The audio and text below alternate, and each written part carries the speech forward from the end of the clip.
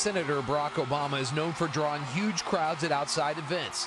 But when it's 37 degrees and raining, a few thousand people still showed up in Chester, Pennsylvania. A little bit of rain never hurt anybody.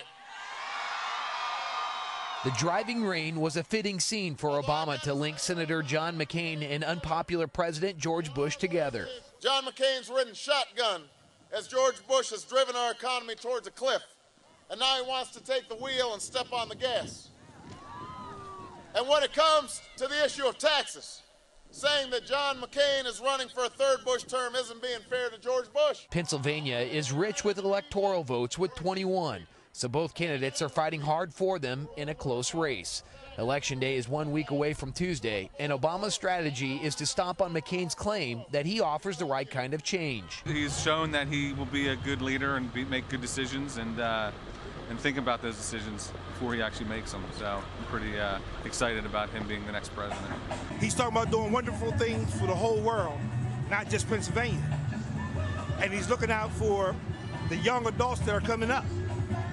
And he's going to look out for the middle class. Barack Obama knows what it's like to taste defeat here in Pennsylvania. Earlier this year, he lost the Democratic primary to Senator Hillary Clinton. Now he's counting on those same voters who voted against him to vote for him. One thing he's got on his side is history. Pennsylvania has voted for the Democratic presidential candidate in each of the last four general elections. Mark Carlson, The Associated Press, Chester, Pennsylvania. On election night, forget the pundits and talking heads, drown out the static. Count the vote right here as it happens live as voters from around the nation weigh in. Check back right here, November 4th.